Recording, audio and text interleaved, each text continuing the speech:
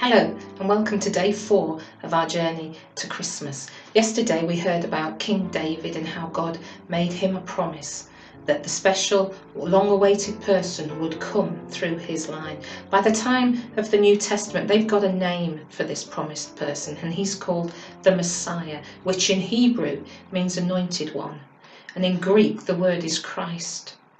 And in their culture, they anointed three kinds of people they anointed the prophets, they anointed the priests, and they anointed the kings.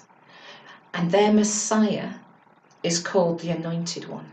And so God promises that the Messiah will come through David's line, and he promises that he will have a kingdom that endures forever. There are so many things in the Old Testament that point towards this Messiah and give us clues to what he will be like. And we haven't got time to look at them all. So we're going to jump ahead and find out a little bit more about this kingdom. What do we know about this kingdom? When will this kingdom come? And it takes us to the people of God who have not obeyed him. He's given them lots of warnings and they end up in exile. And this is a story from that time in exile. In fact, it's a story that is with the king that is over the whole of Babylon. King Nebuchadnezzar, he has a dream and it really disturbs him and he doesn't know what it means and so he calls in his advisors the next day his wise men his advisors and he says I need you to interpret my dream. And they said, Yes, sir, what was it? And he said, No, no, no, no, no, no, no, no. You could tell me anything. Now, I need to know that this is the right interpretation. And the way I know it will be the right interpretation is if you can tell me what my dream was. A bit like me saying to you, I'm thinking of a number, what is it? It was 14,325. Did you get it right? Impossible. And the, the, the wise men, very carefully, because you have to be polite to the king, said, What the king has asked us to do is too difficult. No one can reveal it to the king except the gods, and they don't dwell with human beings. That was their experience. Gods didn't dwell with human beings. And so the king says, Well, you're supposed to be my advisors. I don't think much to your advice. I'm going to have you all killed. And so Daniel and his three friends get a knock at the door because they are actually included in the, the group of people that were the king's advisors, the king's wise men, and they also are about to be killed. And Daniel manages to persuade the soldier who's come to kill him to give him a little bit extra time, and then the next day he's able to go into the king and humbly say, No, king, I am not anything special, but my God is the God that reveals mysteries. And I will tell you what your dream was. And so he does. He tells him exactly what the king dreamed. He says, There was a single great statue, and that statue, which was large and of extraordinary splendour, was standing in front of you, and its appearance was awesome. And the head of the statue was made of fine gold, and its breast and its arms were of silver, its belly and its thighs were of bronze, and its legs of iron, and its feet partly of iron and partly of clay. And you continued looking until a stone was cut out without hands, and it struck the statue on its feet of iron and clay, and it crushed them. And then the iron, the clay, the bronze, the silver, the gold were crushed all at the same time and became like chaff, and the wind carried them away so that not a trace of them was found. But the stone that struck the statue became a great mountain and filled the whole earth. That was the dream. And so then Daniel goes on to interpret the dream, to explain to Nebuchadnezzar that he and his empire, Babylon, was the head of gold. And another empire would come, that's the silver, and another one would come, the bronze, and another one would come, the iron. And then at some point, the iron and clay would be a different part of the same empire. Um, and so, what is the stone? And David, uh, not David, Daniel is able to say that in those days, the days when there is an empire, fourth empire down, the one with the iron and the clay, the God of heaven will set up a kingdom which will never be destroyed. And that kingdom will not be left to another people. It will crush and put an end to all the kingdoms, but it will itself endure forever. And so, for the Jewish people now, along with the Messiah, the promised Messiah, they have the promise of a kingdom that will endure forever, which will um, put an end to all the other kingdoms. And so, when it comes to the New Testament, to the time of Jesus' birth, these were the hopes and the expectations that the people of God had. Yesterday, I mentioned disappointments because actually, our disappointments come around when we had expectations that aren't met. And sometimes we don't even realize that we've got expectations until we find out that we're disappointed. And being disappointed is not wrong. Many of the people in the Old Testament experience disappointment. You go through um, the Psalms and they're saying, Why? Why, God?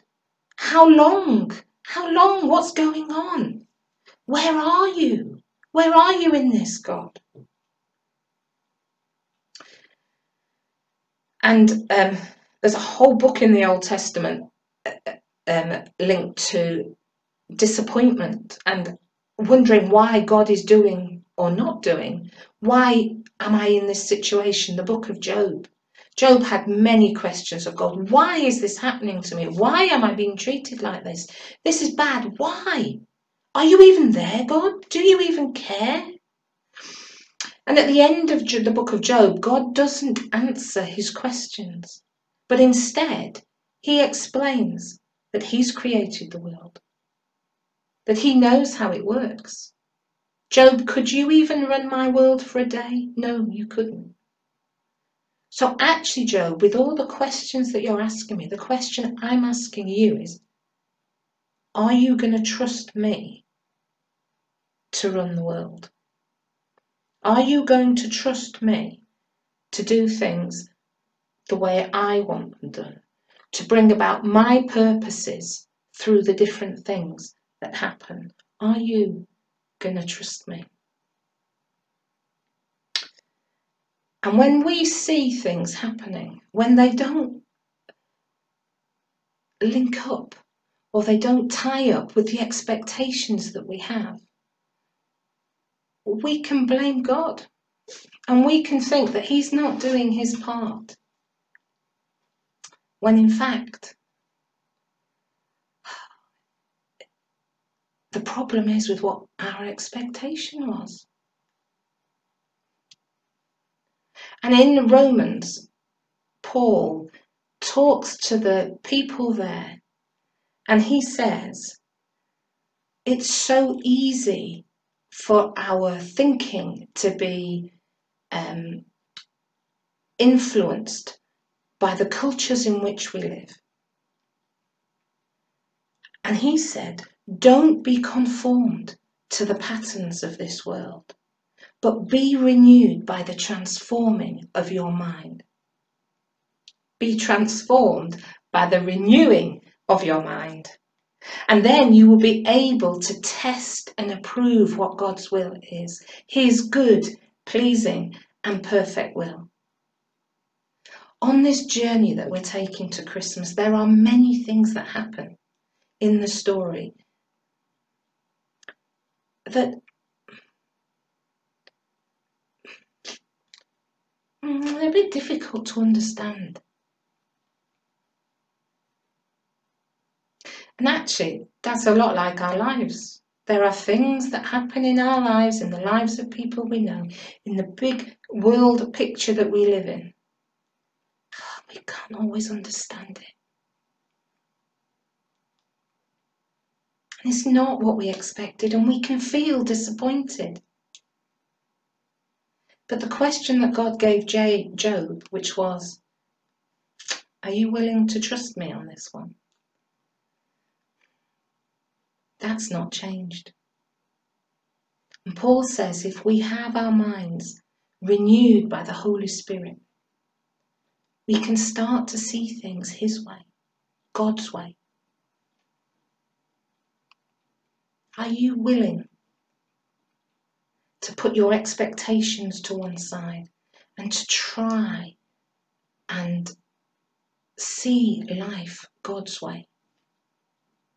To put your trust in God's way of doing things. And when things are hard, say, I will wait for you, God, to do things your way. We're just going to close now and we're going to say the Lord's Prayer, where we ask that God's will will be done in our lives and in our world. And God's kingdom will come in our lives and in our world. Let us pray. Our Father, who art in heaven, hallowed be your name. Your kingdom come, your will be done on earth as it is in heaven.